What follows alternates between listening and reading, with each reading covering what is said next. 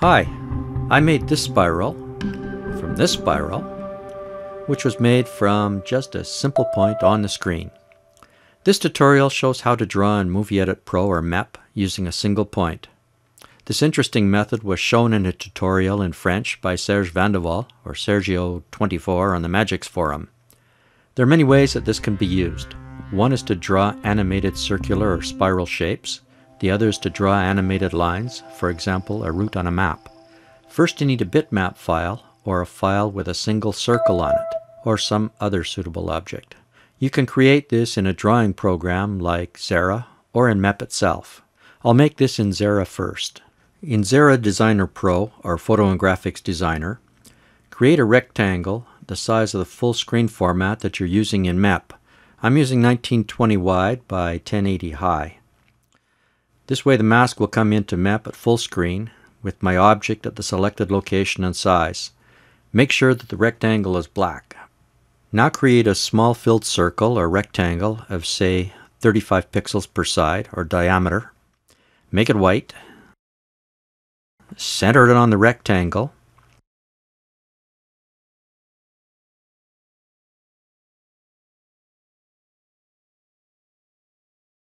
And move it upwards close to the top. We'll use this to make the circle or ellipse in MEP, and when we do, we'll rotate it about the center point of the rectangle, and the small circle will trace an arc, or a circle. Now we'll export this, everything that is, to a JPEG file. I'll call this 0 offset circle 1 and put it in a folder that I can easily find. You may want to save this file and keep it as a base for other masks or overlays. For another example, I'll change the circle to a short line segment. So I'll create a new tab here and I'll copy the rectangle over and create the short line segment. Now I'll center this and I'll export that as a JPEG file and of course to somewhere where I can find it quickly. Now I'm going to add in an arrowhead on the right hand side and I'll export this one as well to the same location with a different name. And finally I'll save this as a Xara type file so that I can use it again later. And now I can get out of Xara and go back to MEP. If you don't have a drawing program, even though I know that you do, like uh, Windows Paint or Magix Photo Designer that comes with MEP Plus, you can create a point file using MEP. Click on the Title tab and select Templates, Fonts, and insert the first one, ABZ. The title is highlighted, so just press on the point or period key and accept that. Now change the size to 35. Go to Effects, View Animation, Size Position, center the point, and then drag or move it towards the top. I'll just change the Y setting to 200. Make sure that you have no other image overlaying this. Now place a playback marker somewhere on this and go to File, Export Movie, Single Frame as JPEG or BMP. I'll place it in the same folder but with a name MEP Offset Point 1. I no longer need the title, so I'll delete it. Now I'll go to the same folder under Import and select this last file and drag it onto the timeline. With the object selected, go to Effects, Video Effects, Brightness Contrast, and set the brightness, contrast, and gamma all to 100. Now if everything turns white, that's okay. What we want is the circle to be properly white, otherwise it may have a blue tinge to it. Now select Chroma key and click on black. Now we see a nice white point. Next, select Distortion and set Echo to 5. Echo is going to create a point at every frame. Now for the animation. Go to View Animation, Size Position, drag the playback marker to the beginning in the keyframe box if not already there. Place a keyframe by clicking on the keyframe button. Drag the playback marker to the end, and now drag the image down and towards the right.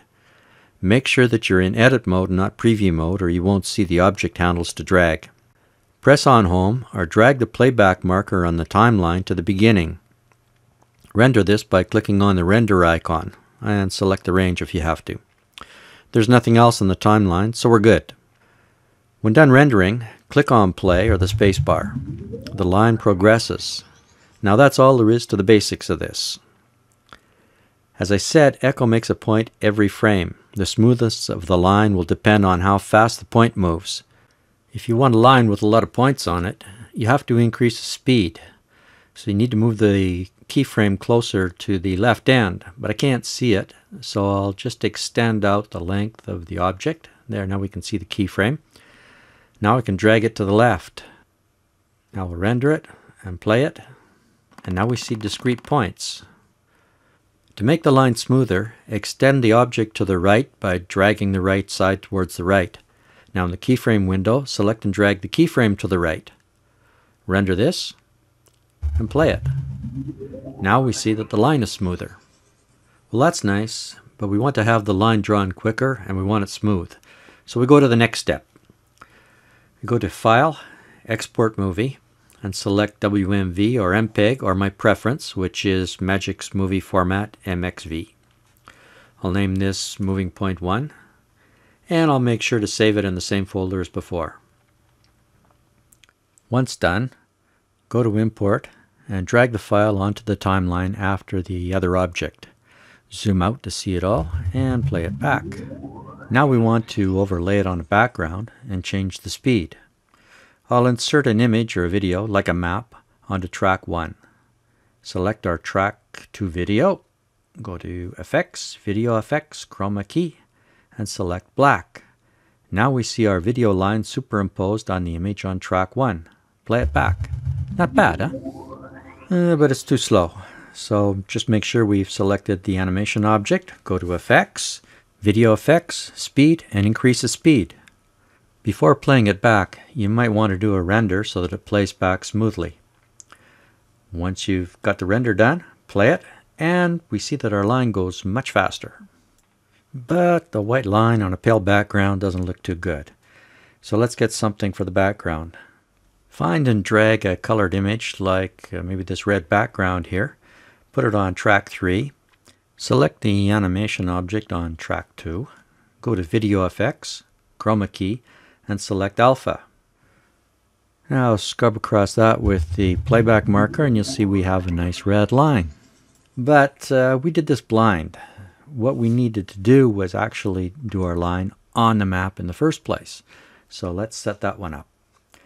I'll copy the map on track 1 and drag it over to the beginning of our point animation, stretch it out to cover the point animation. And now select our point animation go up to the effects and size and position and delete the keyframes. Now set the playback marker to the beginning and in the preview window drag the point image to have the point at a starting location that we see on the map right there. And we want to place a keyframe right there. Good. Now we'll just drag the playback marker about halfway along and move our point in the preview window to the intersection of the roads right there. And it automatically places a keyframe, so we'll move towards the end. And now we'll drag the point down towards the bottom right there a little bit on the road. And we're done. So we can scrub over that one and we'll see that it's making points on the road. Now we need to render this up or those points are going to show up in what we export. So I set the range and we'll render it. And once the rendering is done, we can just scrub across it to see that nice smooth line. Now we'll export that one. Uh, but first of all, I have to mute whatever's on track one. We don't want that. Right. And whoops, better render it again because I put a couple of points there. And once that's done, we'll go to File, Export Movie, and I'll go for my Magix video again. And uh, give it a good file name, and just export the range only. Now, once that's done, and I see I've already gotten rid of the previous object on track 2, so I'll go and select my new one, drag it onto track 2, and make sure you select it. And we go to Effects, Chroma Key, Alpha, and now we see our red line, but we don't see the map. Oh, we turned it off with the mute. There we go. And we got it back on and we see our red line nicely. But of course it goes far too slow so we go to speed and we're going to speed that one right up so that it gets to be about the length of what we want. And we'll set the range and render that one up. And then once that's done, we'll play it. Now that gives us a nice smooth line on the road. Moving right along, let's trace a circle this time. I'll do some cleaning up by getting rid of the previous animation and maps, but I'll keep the point file. And I'll delete the keyframes by going to Effects, Size Position, and hit the Delete Effects key. There, now we've just got our point on the screen. Now I'll go to Effects, Rotation Mirror, and make sure that the playback marker is at the beginning and set a keyframe. Now I'll move the playback marker over towards the end and I'll set the rotation to 380 degrees. This will give us a little bit more than a full circle. And scrubbing on the timeline a little bit, we see that the dots start to form a circle. Great. Now we should render that one up. And once the rendering's finished, we'll play that back. And we see that it forms a nice smooth circle. And this will go just slightly past 360 degrees. For a spiral, with a playback marker at the end of the object on the last keyframe, change the rotation to 1080, and that's going to give us three rotations. Now switch to size and position. Make sure we're at the very beginning and set a keyframe so the zoom is at 100. Then we move to the end of the object on the last keyframe and we'll decrease the zoom to say 50 which will create another keyframe. Now set the range render it, play it back. We now have an inward spiral with a point and the line decreasing in size. But the line's not smooth. So I'll increase the duration by stretching out the object to the right. You'll have to judge how far you need to go to make this thing smooth.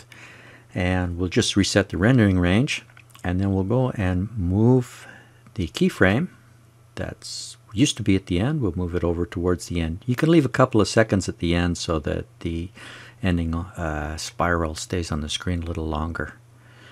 And once you have that done, then you can render that one up and play it back.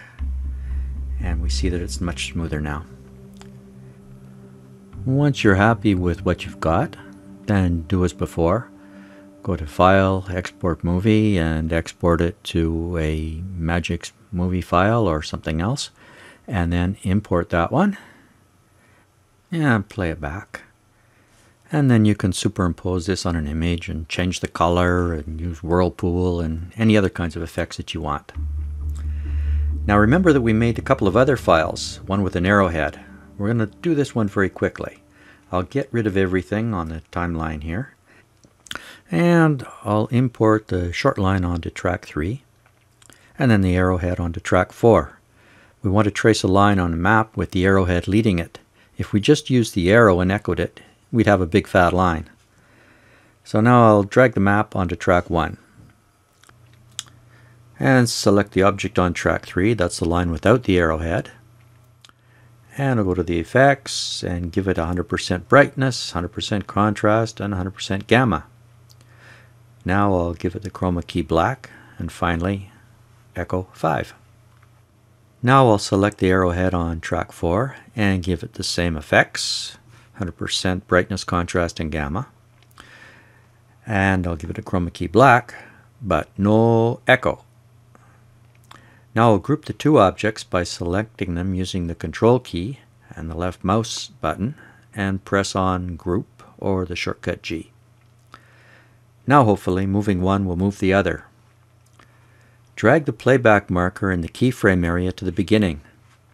Make sure that size and position is selected under Effects. Now drag the Edit window to place the arrowhead and the line at the starting location and set a keyframe. You may have to rotate the arrowhead and the line if you want to go much more than horizontally. Move the playback marker partway along the keyframe area and then move the image and we'll stop it about here.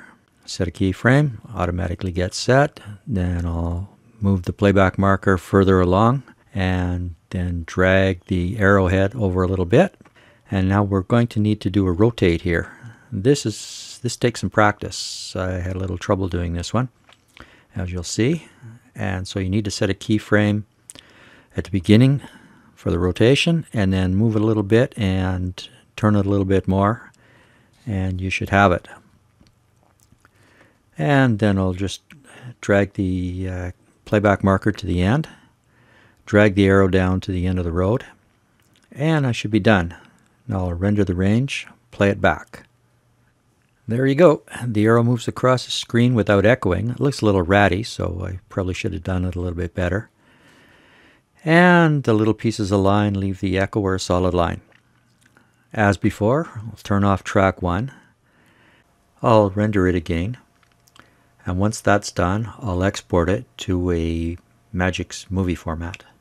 Then I can either get rid of the source objects and import the animation, or what I'll do is I'll just open up a, another movie. And in that movie, I'll import the animation onto track 3. And I'll import the map onto track 1. I'll select the imported line give it a chroma key alpha, adjust the speed as required. Let's play it back to see how it looks. And the black line moves along the road. Now let's turn it into a red line. On track 4 I'll add in uh, a red background. And we'll uh, take a look and see how that one works and that looks pretty nice except it goes off the road a little bit. So you can just make an adjustment right here using the size and position. Now, uh, one last thing, rather than getting rid of the source objects, you may want to keep them, so save the project with an appropriate name and import the finished um, animations into another project, or use a different movie like I did. Rather than an arrowhead, you could use some other image, like an aircraft or a car or someone's head, and have them move around. So I hope this gives you some great ideas for making animations with a point, or any other object. Have fun. Bye bye.